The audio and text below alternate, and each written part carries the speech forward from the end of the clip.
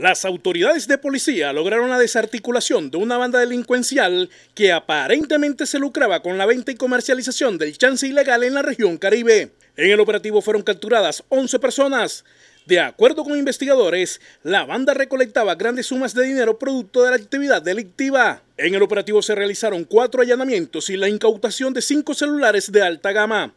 Los capturados fueron identificados como Jorge Andrés Bustamante Navarro, supuesto líder de la organización, Caterine Paola Bustamante Navarro, Gretel Eliana Daza Santiago, Cindy Patricia Díaz, Víctor Julio María Galarios, Mercedes Molina Oñate, Juan Carlos Castilla, Carlos Alberto Cadavid Gómez, Francisco Molina Suárez, Marina Esther Navarro Pineda y Manuel del Cristo Ríos Mercado. Cabe mencionar que los antes capturados fueron señalados por la Fiscalía Primera de Barranquilla Atlántico por los delitos de concierto para delinquir, ejercicios ilícitos de la actividad monopolística, del arbitrio rentístico y utilización ilícita de redes de comunicación. Las seis capturas se dieron en el Cesar, mientras que el resto se efectuaron en diferentes departamentos como Atlántico, Bolívar, La Guajira, Sucre y Córdoba.